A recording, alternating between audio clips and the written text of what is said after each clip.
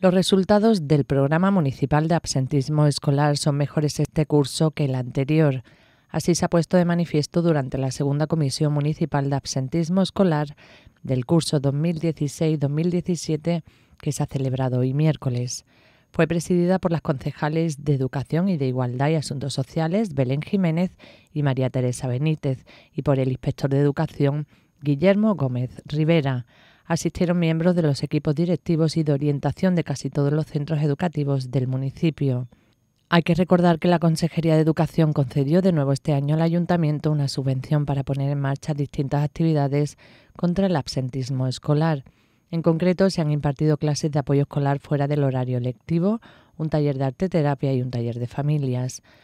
Los beneficiarios son estudiantes absentistas o en riesgo de absentismo de primaria y secundaria de todo el municipio y en algunos casos también sus padres y madres.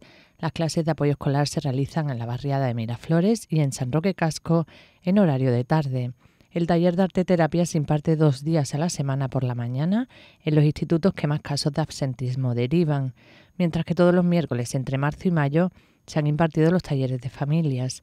El objetivo de estas intervenciones ha sido reforzar las materias curriculares que más dificultades presentan, enseñar a gestionar sus emociones a través del arte y la creatividad y por último dar una formación a los padres y madres con el fin de mejorar la convivencia diaria en las familias. El análisis de los expedientes de los participantes en las actividades del programa de absentismo escolar arrojan unos resultados muy positivos.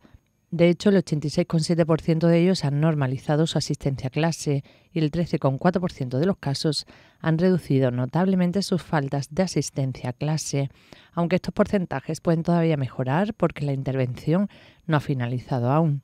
Hay que recordar que el año pasado se desarrollaron unos talleres de emociones para los alumnos absentistas de los institutos José Cadalso y Mar del Sur, por los que se consiguió regularizar la asistencia a clase del 70% de los mismos.